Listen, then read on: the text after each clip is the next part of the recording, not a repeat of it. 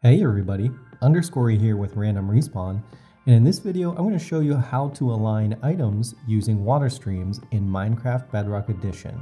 I'll show you how to perfectly align items for easier item transportation, item storage, and item filtering.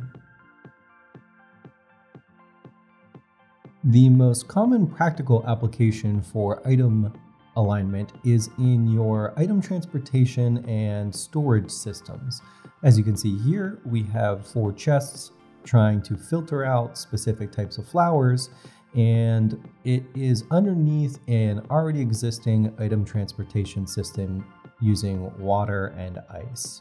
So as you can see, we're trying to align our items so that they are on top of the ice as well as the hoppers so that they can continue on down your item transportation system and also be filtered out if it's the correct item. As you can see, as things come down, the right types of items get put into your storage system. So for really big complex storage systems that require you to move a lot of items at very high speeds, as well as being able to be filtered out of that stream, this is the perfect practical application of item alignment. Before we get into the tutorial, I want to go over some of the finer details about this method.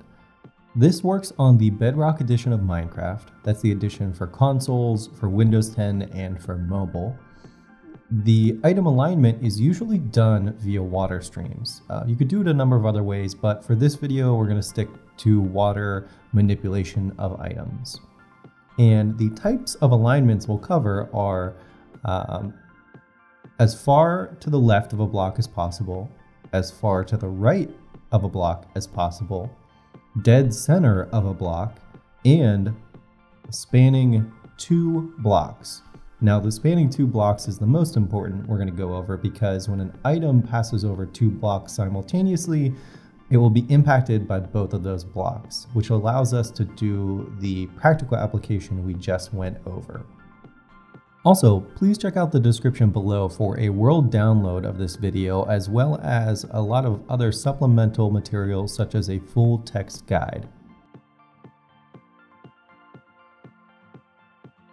Item entities have the following general properties.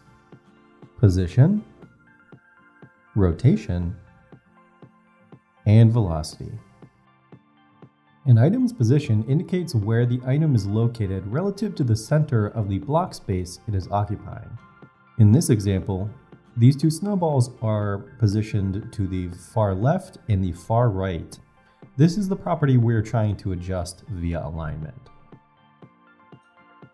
The velocity of an item deals with the rate of change of position within time, or in more plain English, the speed of something in a given direction. Now, to align items, we will either adjust their velocity, which will indirectly adjust their position, or we will adjust their position directly through collision. The first way we're going to align items is using collision. As you can see here, we have two water streams that go around the corner.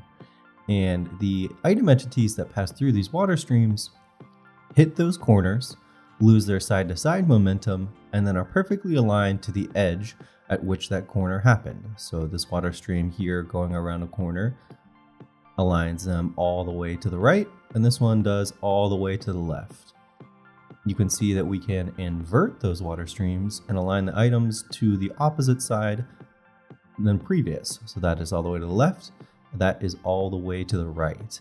That is our basic item alignment using collision. By putting item entities in a water stream going around a corner, they lose their side to side momentum and are perfectly aligned all the way to the edge and continue moving forward. Water streams also have a horizontal current, you can see here that we have multiple water sources feeding into the same water stream. This gives a horizontal current or horizontal flow in these two blocks. Utilizing that horizontal current, we can adjust item alignment without having to use collision. So we can do the left and right alignment that we just did, but using the current of the water to do the aligning for us. This allows us to not have to go around a corner, but utilize multiple water sources to make sure that items are perfectly aligned to the left or to the right of a block. There are a number of blocks in Minecraft that are shorter than the full width a block could be. Now, you can see a chest right here. Um, the black outline of the, the chest is wider than the actual chest itself. Um, you can see the, the latch of the chest right here and then the blue ice underneath it. And the same goes for the edge over here. So a chest is a good example of a block that isn't a complete block's width. Now we can use that to our advantage here in item alignment. We can use the collision principle we just learned about to hit that pixel uh, short width and perfectly align an item across two blocks. You can see that this item is on that perfect line in between these two iron blocks. So again, we're going to use item collision by putting um, an item in a water stream, having it go around a corner, but the difference here is that corner where the item loses its side to side momentum, it's going to perfectly align the item one pixel over into the adjacent block wherever that chest is. So this is how you align items across or spanning two blocks. The cool thing about items being aligned across multiple blocks is that the blocks below it both impact that item entity. So for this example, we have ice and we have hoppers. The item will be aligned above both of those blocks. So we have a hopper that is not full and a hopper that is full. And if we align those items perfectly across both of those blocks, you can see the items get sucked into the not full hopper and pass directly over the full hopper. This is the cool practical application, or really the only reason that you would want an item to be spanning across multiple blocks, so that you can move it down water streams or across long distances at the speed of ice or normal blocks, but also have it sucked in or be um, impacted by the hoppers below them. There are a number of other blocks that are thinner than the full width that a block could take up, such as trap chests, ender chests, cakes, or anvils, and you can see all of these do align items across multiple blocks. That being said, I would not recommend all of these for your um, item filtering purposes or your item alignment purposes. Some of them have glitchier hitboxes than others, um, but the ones that you'll see typically are the ender chests or cakes. Those are probably the most reliable, um, and then followed by chests. Chests um, are pretty cheap and the probably most common, but they do have a, a glitchy hitbox sometimes that could screw up your item alignment. So my recommendation is you use ender chests or cakes to perfectly align items across or spanning multiple blocks. Last but not least is aligning items in the dead center of a block. This is not easily accomplished. As you can see here, I have a number of water sources, different block types, underneath the water sources, um, just a whole bunch of mess here. So I am not the perfect guide to figure out the correct water current and speed an item needs to be in order to have a dead center alignment. Um, check out Nathan Ryan's video linked in the description below.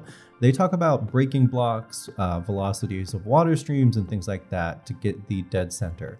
Uh, this atrocity that you see before you is my attempt to do that um, in the current version that I'm playing in. Um, but they can um, really guide you on what the different block types underneath slow or speed up, um, the the um, intensity of the horizontal water flows and things like that. But if you really need to do it, you can copy this here. Um, I would just really, really not recommend doing this. But Proof of concept, you can align items in the dead center of a block utilizing breaking blocks, different speeds, and um, different strength horizontal water currents.